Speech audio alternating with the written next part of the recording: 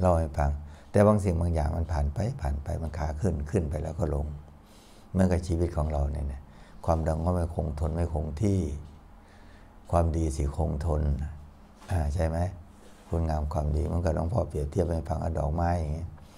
ดอกไม้บางชนิดก็ไม่มีกลิ่น ไม่หอมเลย ไม่ได้กลิ่นเลยไม่มีแต่ดูสวยงามเนาะ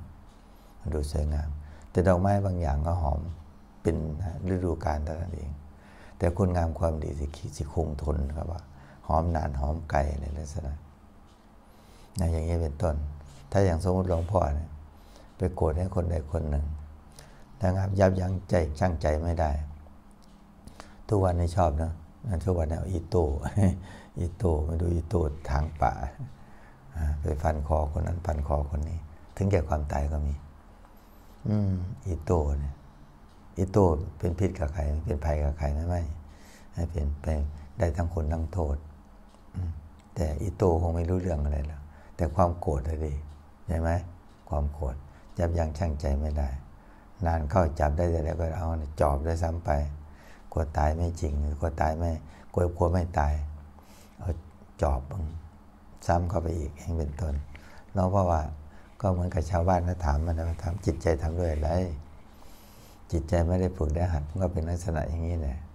ภัยพิบัติก็ตามมาภัยพิบัติก็ตามมา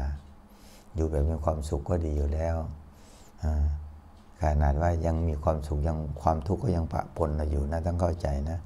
มันก็ปะปนมันก็เล่นเล่นล่องานอะไรอยู่นะแล้วมันเล่นงานอะไรอยู่นะเล่นงานอะไรอยู่นะต้องตามดูจิตไงที่สำคัญตามดูจิตของตัวเองทำไปแล้วได้อะไร แล้วก็เคยคิดเหมือนกันนะเพื่อนร่วมงาน ตอนที่เป็นเด็กนะแต่ตอนนี้เราเราว่าคิดได้ตั้งนานนะตอนเป็นเด็ก มันเกิดปัญญาคิดได้ตรงไหนรู้ไหมเขาด่าสรุปแล้วเขาไม่ด่าแต่เราเขาไม่ได้ว่าแต่เราเขาก็ว่าทั่วๆไป บุคคลคนนี้โอ้นิสัยเขาเป็นอย่างนี้เท่านั้นเองใช่ไหมเขาว่าแต่เรา ถ้าดึงเข้าตัวเองว่าแต่เรามันว่าแต่เรา ไม่ใช่เขาเขาว่าทั่วไปนั่นว่าทั่วไป จิตใจมันก็ผ่อนลงใช่ไหม เขาไม่ด่าแต่เราเนี่ยแต่ถ้าด่าเฉพาะเราเราก็ต้องคิดให้เราคิดให้ดีๆว่าทำไมเขาด่าเราเฉพาะเรา เรามีความบกพร่องไหมเราโง่เองไหมอะไรเราต้องดูตรงนั้นใช่ไหมถ้าพูดถึงตามหลักอย่างนี้